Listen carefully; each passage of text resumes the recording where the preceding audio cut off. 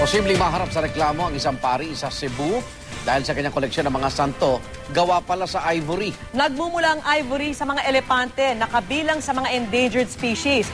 Mahigpit na ipinagbabawal ang paggawa at pagmamayari ng mga produktong gawa sa hayop na nanganganib ng maubos. Saksi si Cara David. Dahil sa artikulong nalathala sa National Geographic Magazine, nasasangkot ngayon sa kontrobersya ang ivory collector na si Monsignor Cristobal Garcia ng Cebu. Nang ipagmalaki raw kasi ni Monsignor Garcia ang koleksyon, sinabi umano ng may akda na gusto niya ng ivory na Santo Niño. Ikinagulat niya ang sagot ni Garcia, kailangan daw itong ismuggle para madala sa Amerika. Itinuro rin umano ni Garcia kung paano ito gagawin. Balutin daw ang ivory sa underwear at buhusan ito ng ketchup. Ibinigay rin daw ni Garcia ang mga kilala niyang ivory carver sa Maynila. Patuloy pa rin hinihinga ng GMA News ng reaksyon dito si Monsignor Cristobal Garcia.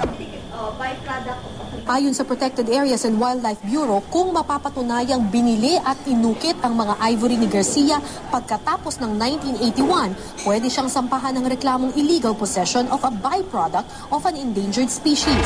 Taong 1981 kasi lumagda ang Pilipinas sa Convention on International Trade of Endangered Species o CITES. Hindi naman outright na porke meron kang santo, eh, ikukulong ka na kaagad. Hindi, ipoprove natin na, no, na ma- kailangan i-prove niya na antique lahat yon. Kung Spanish period yon, like kung ito yung mga dinala, dinala nung panahon ng Kastila, Pwede yun. pwede yon. Pero kung Pero kung bago siya, ay ano na siya, nag-contribute na siya sa, ano, sa massacre ng mga elepante. Sa Maynila, nakilala ng GMA News ang iskultor na si Don Awa na nagpatutuong may nag-aalok pa rin daw sa kanya ng mga material na ivory. May tumatawag minsan pero hindi namin pinapatulan dahil mahirap na tapos na yung ano namin eh. Yung kumbaga alam na namin bawal ngayon. ang mga ivory tusk ang isa sa pinakaimportanteng parte sa katawan ng isang elepante. Kumbaga, itong mga tusk na ito, ito yung kanilang pinakangipin. Ito yung ginagamit nila para makahanap sila ng pagkain. Napakatibay at napakabigat, napakakinis rin nitong mga ivory tusk na ito. Itong ang hawak ko, nasa 9.76 kilos. Sobrang bigat at sa merkado, sobra ring mamahalin.